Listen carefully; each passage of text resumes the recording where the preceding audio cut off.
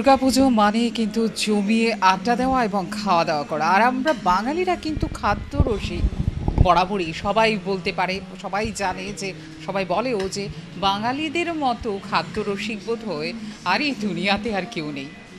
আর আমরা আজকে এই মুহূর্তে স্যান্দন টিভির তরফ থেকে এক জায়গায় পৌঁছে গেছি, যেটা আগে ইন্ট্রোটা দিচ্ছি। বিষয়টা হচ্ছে, উনিশশো তেরো সাল থেকে এই যে প্রতিষ্ঠানটা নতুন আগরতলায় এসছে, কিন্তু তার যাত্রা কিন্তু শুরু হয়েছে উনিশশো তেরো সালে। মানে একশো আট বছর ধরে কিন্তু সুনাম স্বনামের সহিত কিন্তু এই রেস্তোরাঁ, খাবারের রেস্তোরাঁ কিন্তু চলে আসছে।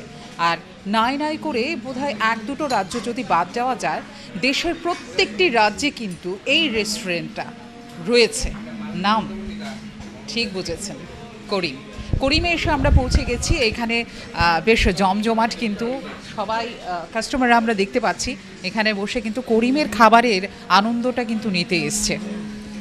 আপনি করিমে কি নাম শুনে এলেন নাকি করিমে নতুন রেস্তোরাঁ বলে এসছেন?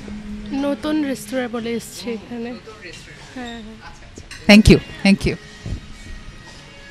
আপনারা কি করিমের নাম শুনে এসছেন না নতুন রেস্টুরেন্ট খুলেছে ত্রিপুরায় পুজোর সময়? এই জন্য বলে এসেছি। করিমের নাম শুনে এসেছি আমরা। হ্যাঁ। করিম যে ফেমাস দিল্লিতে ফেমাস এটা। এটা অনেক পুরানো তাই।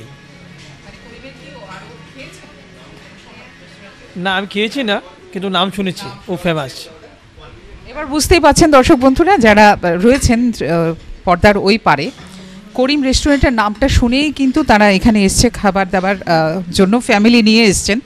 আর বলেছেন ফেমাস নাম শুনেছি। করিম নামটা শুনেই চলে এসছেন। আর এতদিন ধরে খাওয়ার সুযোগটা হয়নি, কিন্তু ত্রিপুরা রাজ্যে যেহেতু এই রেস্টুরেন্টটা খোলা হয়েছে, সেই সুযোগটা কিন্তু ত্রিপুরার লোকেরা পেয়ে গেছেন যে এখানে করিমে বসে খাওয়া যাবে। সেই স্বাদটা নিজেদের মধ্যে নিয়ে আসতে পারবে। এখানে আরেকজন রয়েছেন ওনার সাথে আমি কথা বলব।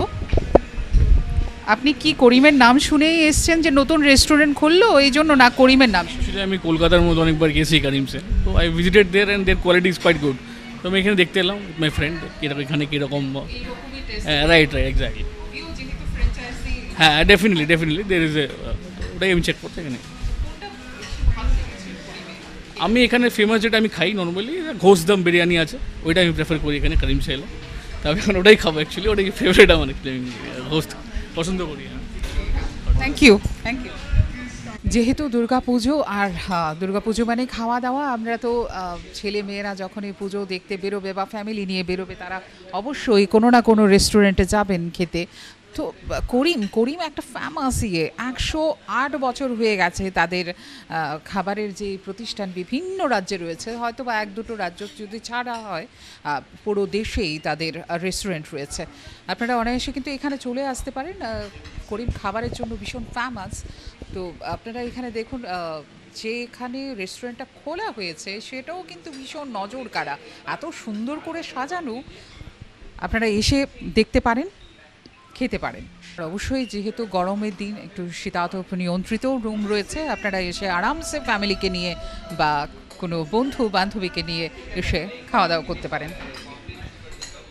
প্রথমে আমরা মেনু চার্টটা দেখে নিচ্ছি, আস্তে আস্তে করে তারপর যিনি কর্ণধার রয়েছেন, তানিয়া বণিক, তার সাথে কিন্তু একটু কথা বলে নেব। কি কি থাকছে চব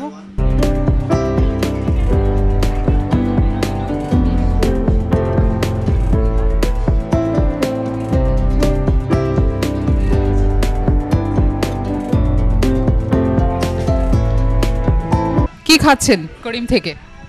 চিকেন মালাই টিক্কা। মালাই টিক্কা। হ্যাঁ। আচ্ছা ঠিক আছে।